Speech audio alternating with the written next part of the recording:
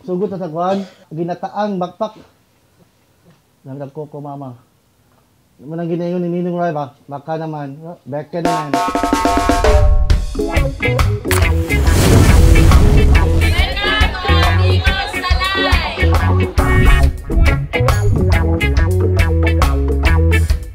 May hapon, uh, niya diri sa Salay Biwok. Bago pa sa establishment na nahimo within year lang. And ako told si Juan, Sherwin Casabrina, uh, Nico, muna yung natawag na sa ko. Ah. Nakauna-una ko na magkukulog tindahan na kanaanan kay aside sa napod ko yung experience, gusto lang po na ako na ma, makaserve sa mga tao sa sa akong mga naibawan at the at a very affordable price. Kay mo man goal uh, makaserve sa ubang tao. Uh, basically, I'm gonna serve the basic mga Filipino food. So usually, natin seafood, natin tuna belly, tuna panga, uh, kinilaw, tuna tinula, um, natin mga sisig, siyempre natin ng sisig mga Pinoy. And ako po nang gina-introduce karon atong exotic na baki or bakbak eh, para po na ma ano ba ma, ma-aware po ng tao na edible na siya na item or na kuan pagkaon. Kung ginataang bakbak ato ning gitchap kay para nindo tanawon. So gusto na nako ipaibalo na prefer na ako na nice skin kay para lang may na ma emphasize na ako na exotic siya.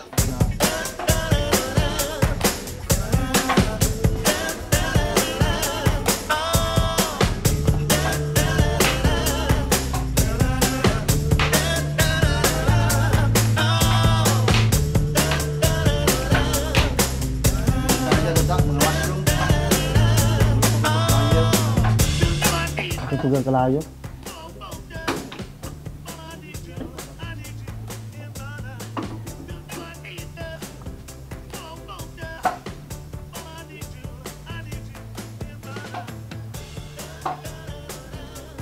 So, ang bakbak, um, ginger, at sal, sili, ahos.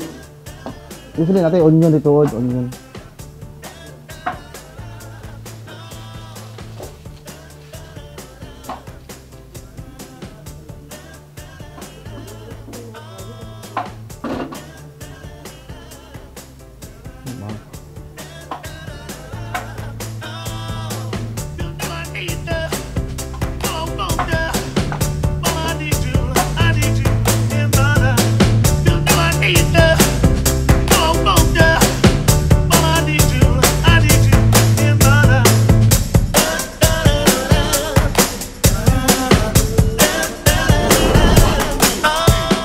Usually, green flambe, nindot siya sa mga fast cooking or short na luto-luto. So, magpaluto ang gawas na part, masil siya, isa magawas-gawas yung mga duga.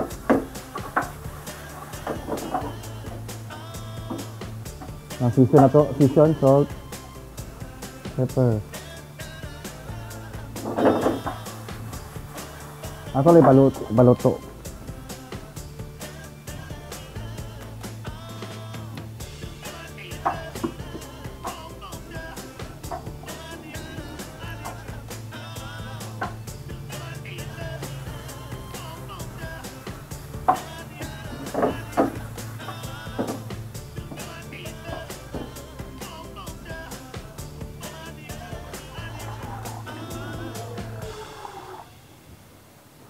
Nag-add na gamay na water para maluto din siya.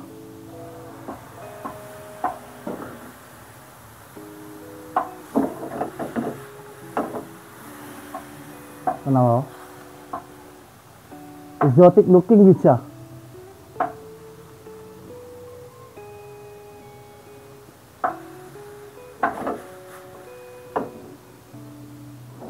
So, i-add na itong pineapple touch niya.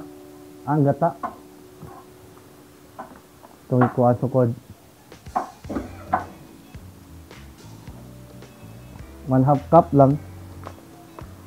Wait, one cup na ko siya, one cup.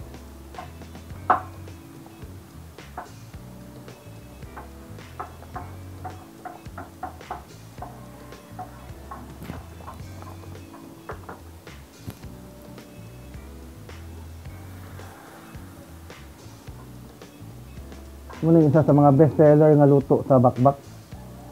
Muna yung napangitaon sa mga customer.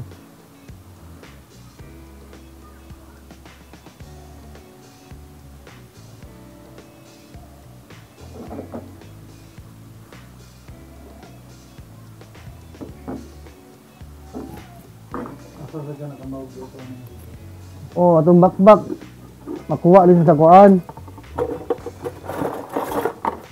Usually sa mga ah, farm, ilang kinaon na ni humay. May English na humay? Oh. May kawaban ako si Kuano. Among kuan, master griller. Pag-hi, pag-hi. Hi. Oh. Among kuan na mo. Among cook na mo. Hi. Hello, Oh. welcome. Welcome. Nga, siya yung prepare sa atong mga food na ito niya. Karon demo-demo lang ko, pero mo na itong sinaligan diri. Na. Ah, mga. Actually, warning lang. Pada magkaon man eh, eh, pugo-pugo-pugo lang sa rice. Kaya para makabalik-balik yung buwan eh. Patulawan lang ako, lami kilami. Last, last. Simula, simulain mga kung ha. Wala. Ah, iya eh.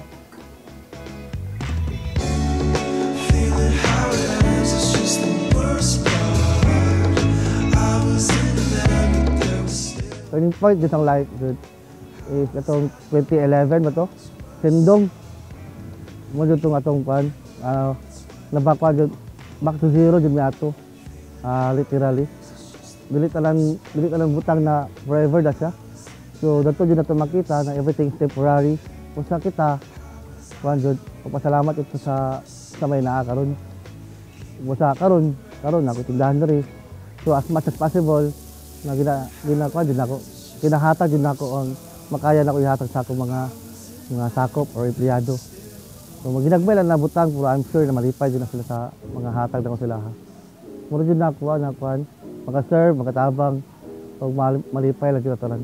Ang mga mga ko sa unan mga kusinero, na gusto jud sila mag magnegosyo, na advice na nako or message lang nako na ayaw din jud buhi iyang inyong pangarap or damgo. Or mas better na ilistan nyo na ngay kuan himuon ninyo na inspiration. Ayaw mo kuan, ayaw mo hadlok musugod sa gamay. Always start with something small. Ayaw lang jud mo ka kuan, ayaw lang jud mo ka dali na ma maluyahan kung magka-problema yung negosyo. Ay, mo man yung gilaingon, di ba ilang ginaingon ako para sa imo, imo jud na.